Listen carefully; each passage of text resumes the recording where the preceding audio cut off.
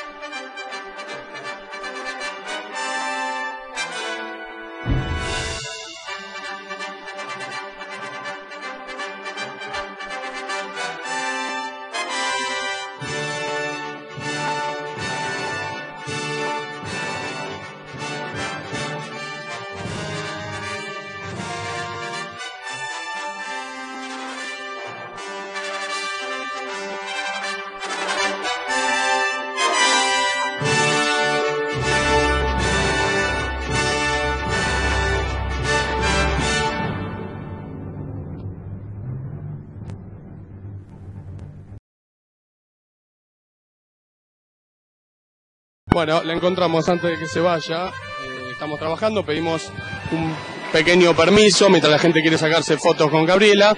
Vamos a tratar de escucharla a Gabriela Sabatini en vivo por todas noticias. Bueno, Gaby, Gaby, eh, nada más, ¿qué sentiste en la entrada? ¿Qué sentiste en la entrada con la torcha? Finalmente que llegó el momento. Hablamos antes de que pase, después llegó. No podía hablar, no, no podía hablar. La emoción que sentí, nunca pensé que iba a sentir tanta emoción.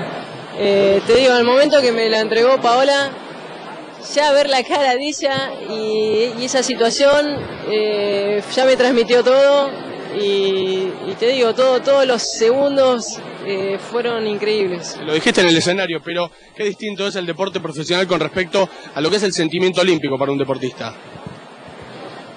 Y es, es compañerismo, es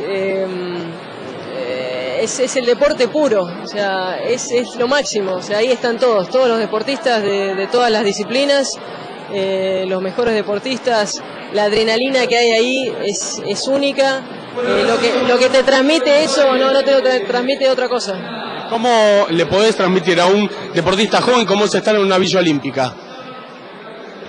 es increíble, increíble estar compartiendo con deportistas de, otros lados, con los chicos, con los argentinos, ir a ver otros deportes, alentar a otros deportes. Eh, estás comiendo todo el tiempo con, otros deportistas, eh, es, maravilloso. Gracias Gabriela. Bueno, Gabriela Sabatini, súper requerida en este momento. La encontramos a la salida, José. Vamos a ver si podemos encontrar a Camau.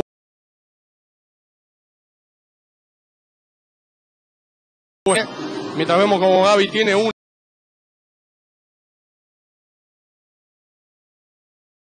Mauricio Macri.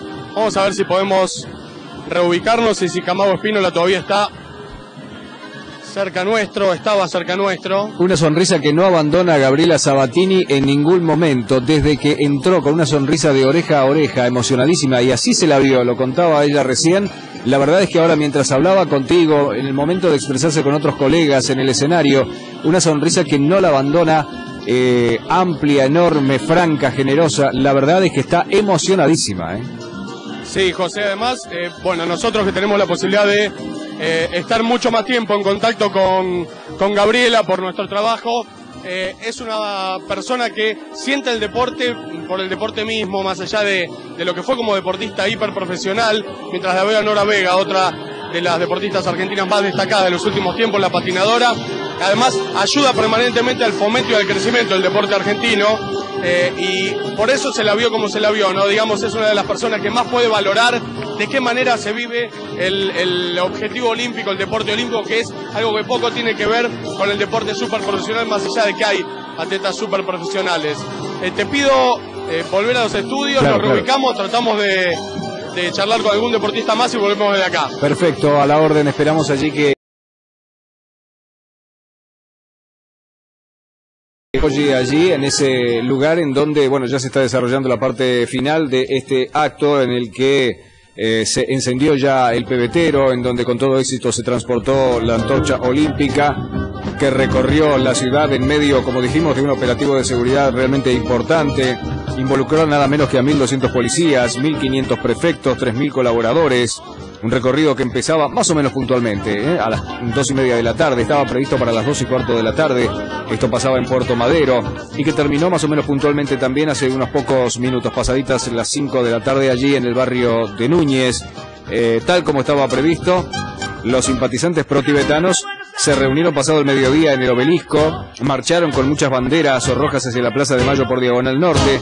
La protesta se llevó a cabo sin incidentes y entre los participantes se vio, por ejemplo, entre otros, claro está, al actor Hugo Arana, un recorrido de la antorcha que había arrancado en el anfiteatro Lola Mora de la Costanera Sur y que siguió el recorrido tal como estaba previsto, sin mayores inconvenientes, en medio, repetimos, de un operativo de seguridad muy importante y que llegó con todo éxito allí al Club Hípico.